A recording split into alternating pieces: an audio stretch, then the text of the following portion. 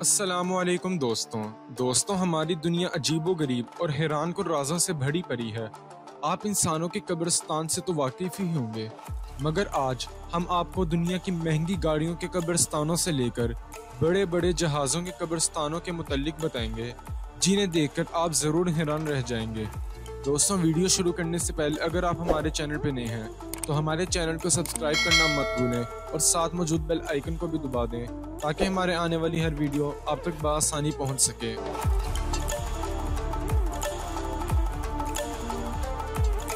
दोस्तों, इस तस्वीर को पहली नज़र देखने से लगता है कि एक बहुत बड़ा पार्किंग स्टैंड है, जहाँ पर हज़ारों लोगों ने अपनी गाड़ियाँ पार्क की हैं, मगर ऐसा बिल्कुल भी नहीं है।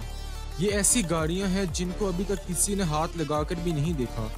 क्योंकि ये न्यू कार्स हैं, जिन्हें खुले आसमान के नीचे बेसहारा छोड़ दिया गया है। और इसीलिए इस जगह को गाड़ियों का कब्रस्तान भी कहा जाता है।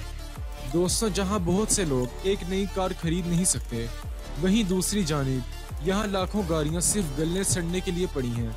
मगर ऐसा क्यों है?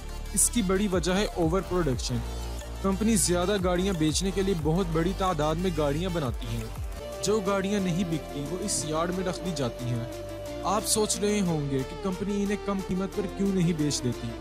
इसलिए कि अगर ये गाड़ियों को कम कीमत पर बेचना शुरू कर दें तो इससे इसकी कीमत गिरने का खतरा होता है।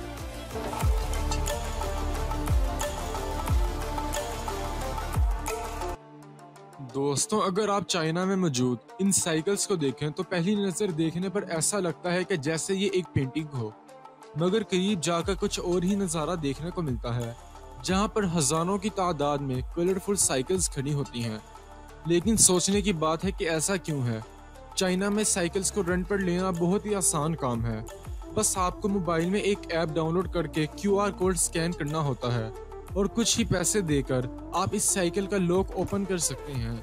और फिर आप इस रेंट की साइकिल को कहीं भी छोड़ सकते हैं। यानी पूरे शहर में कहीं भी छोड़ सकते हैं। पहले लोग रेंट पर ली हुई साइकिल्स को कहीं भी छोड़ देते थे, जिसकी वजह से सड़कों पर साइकिल्स का ढेर लग जाता था। लेकिन पुलिस ने इसका एक हल निकाला और इन साइकिल्स को खाली मैदान में रख देते और कंपनी इन्हें स्पेशल लोगों को नौकरी पर रखा है, जो इन साइकिल्स के ढेरों से अपनी अपनी साइकिल्स लेकर निकालते हैं और इसे कंपनी जाकर वापस रखते हैं।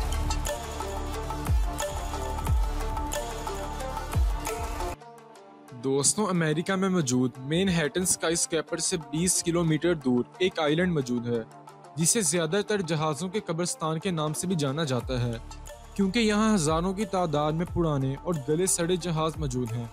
और यूएस के जहाज़ बनाने वाली कंपनी का ये एक कूड़ा घर बन चुका है, जहाँ कंपनी से लेकर पूरी दुनिया में जहाज़ लिए जाते हैं, ताकि इन्हें पहले जैसा किया जा सके, या फिर कीमती पुर्जों को दोबारा इस्तेमाल में लाया जा सके।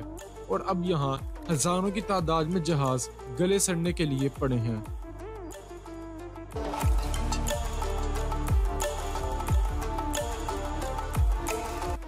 दोस्तों, आखिर में हम बात करने जा रहे हैं दुनिया के सबसे बड़े जहाज़ों के कब्रस्तान के बारे में, जो कि अमेरिका में वाक़ है।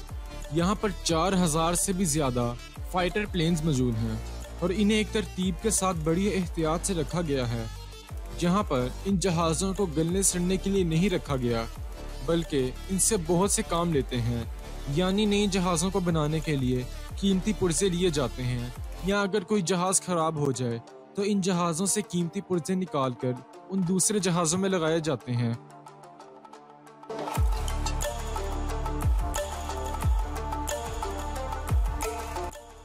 दोस्तों, आज की वीडियो बस यहीं तक थी। उम्मीद है आपको आज की वीडियो भी पसंद आई होगी। वीडियो पसंद आने की सूरत में इसे लाइक करना मत भूलें। और अगर अभी तक आपने हमारे चैनल को सब्सक्राइब नहीं किया तो इसे सब्सक्राइब भी कर दें। इन आपसे मुलाकात होगी अगली वीडियो में। तब तक के लिए अल्लाह हाफिज़।